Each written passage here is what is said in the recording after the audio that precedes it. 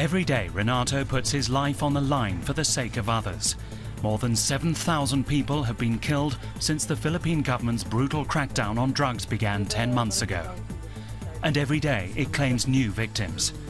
Renato runs a community drug rehab program in the capital, Manila. He has vowed to keep each and every one of his charges alive, working tirelessly to fulfill his promise. But can he do it without putting himself in danger?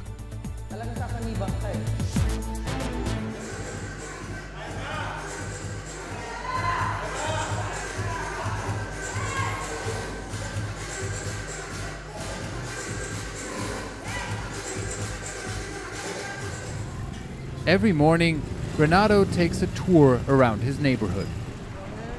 He is the drug enforcement officer in this community in Quezon City in Metro Manila. He wants to convince the known drug addicts here to come to the rehab sessions he runs every weekend. Tomorrow, Saturday at 10 a.m. I have reminded you so many times you have to be there. Sir, I might not be able to make it tomorrow. That's not acceptable. This is serious. We are now under the PDEA. I cannot cover up for you. I must report the truth. I have no proof that you actually work. You have to be there tomorrow. Don't mess up. Since President Rodrigo Duterte took office last June, anyone involved in drugs is essentially fair game, especially the poor. Many have wound up dead in the infamous police operations that ensued. Even more have been killed by vigilantes. More than a million hope to escape that fate by surrendering to the authorities.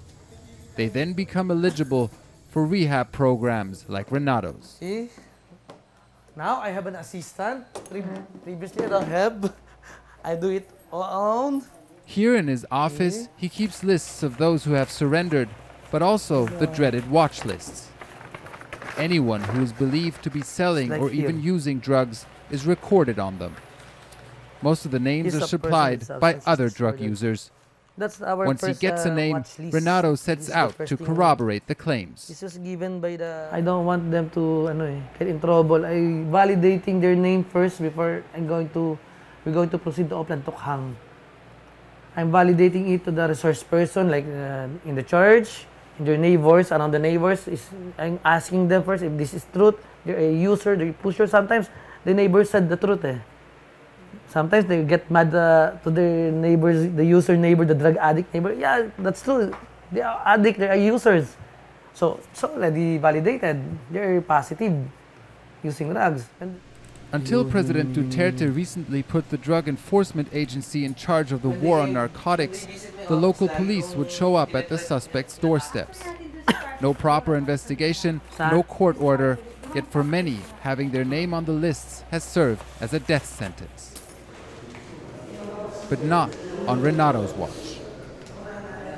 So far, no one on his lists has been killed, he says and he's promised those in his community who have come forward to keep it that way.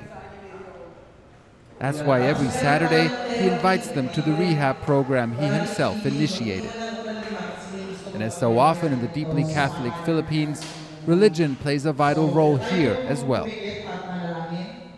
I want to start the program by Bible study. They need to be fed, not by food. They need to be fed by the spiritual, uh, the Word of God. Because if you believe in God, nothing's impossible. It can be changed. Many come here out of fear. Some still feel threatened and want to remain anonymous.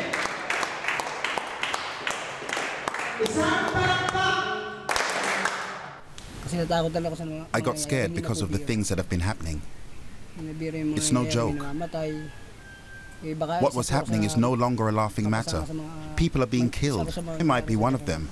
I might also end up dead. That's why I came here voluntarily to surrender.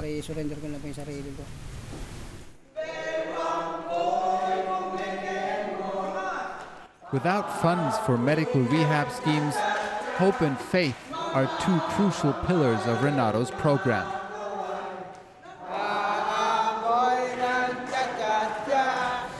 As is physical exercise.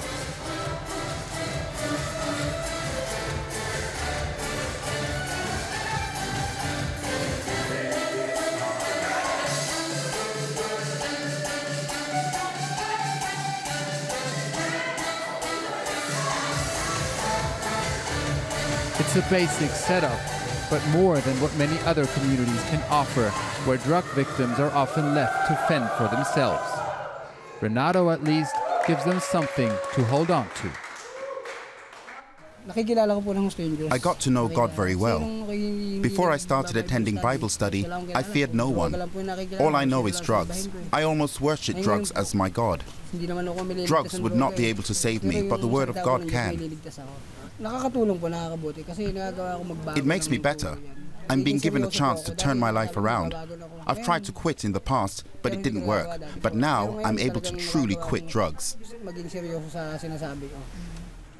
Renato keeps a precise record of attendance in order to protect the participants. Uh, this is like uh, your driver's license. Uh, this will they will carry this every time, anytime on their pocket. They're going to fold it. If they were still on the watch list, if there's some police came to them, they will show this that they already surrendered. They- This is their assurance that they are undergoing the program of the barangay. This is their assurance. Renato hopes for a future without drugs. Drugs tear apart families, as does the drug war, too. I see some family, this, their husband has been killed. I see them, they're crying in the TV. That I don't want to see like that. If I can do better, I will do it. Diba? That's why we assigned here. We assigned here not for the salary. I'm assigned here to do my job, to help them, and for the future of the children. Renato has children of his own. He wants them to grow up in a drug free environment. At the same time, he knows his job on the front line of the drug war also puts him in the crossfire. I knew all the personalities, uh, drug personalities around our communities. I knew their name, I knew their, their faces, I knew that they are on the watch list. Maybe they're going to do something, so I, I can forget it, all of that. When I accepted the job, I already expected what what's the worst thing should happen to me. I expected it. I already fit myself to a coffin and try and take a picture with me. I take a selfie inside the coffin.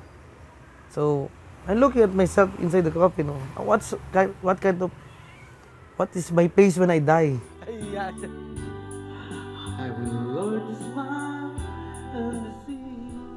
Sabi nila. Neighbors often warn me when we're out together on the motorbike. sila ang They say it's dangerous because of his job, but I don't care. When your time has come, then you have to die, mo na, oras mo one way or the other. At hindi ka nakasakay dito. I wish that uh, if anything happened to me, the one who I helping right now, the surrenderers, if I die, maybe all of them will help my family also. That's my wish. That's my only wish.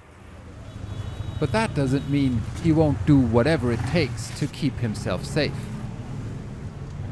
Some areas he only enters with the police and a bulletproof vest. As for my own protection, it's too risky to go inside. Maybe some uh, some people identified me already as the head of the anti-drugs in our barangay, in our community.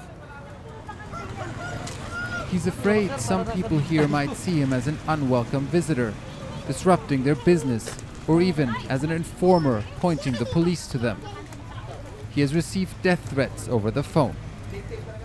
You will die tomorrow. You will, uh, if you want to come with the, you will be with Satan as soon as possible. Something like that.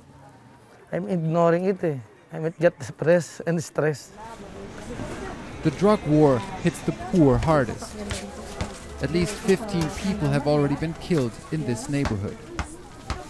And every time it happens, Renato has to come here to make sure the victim is not someone from his lists. Some of the addicts who are taking part in Renato's program also live here. But he can't get in touch with them directly, as it would put them in danger. barangay council that's residing here. Anyone who speaks to the authorities could be seen as potentially blowing the whistle on others. None of the addicts wants to talk here. It's only in the safe environment of Renato's program that they agree to an interview. They speak of a state of constant fear. Sometimes I find it hard to even close my eyes. That's why we prefer to be dead tired from work when we get home. As soon as we get home, we just crash. Sometimes I feel like we're being followed. I would tell him, Love, we're being followed. But when we stopped walking, they would just walk on. I rely on my instinct. My instinct would tell me if something was wrong. If you let everything scare you, you will lose. Renato is determined to relieve people's fears and give them encouragement, even if that can mean endangering himself. I'm, uh, I'm committed. Nanumpa ako. Uh, I swear to do my job. That's one. Like the policeman. That's their call of duty. Never. A duty that means he never gives up. And he never gives up on anyone, as promised.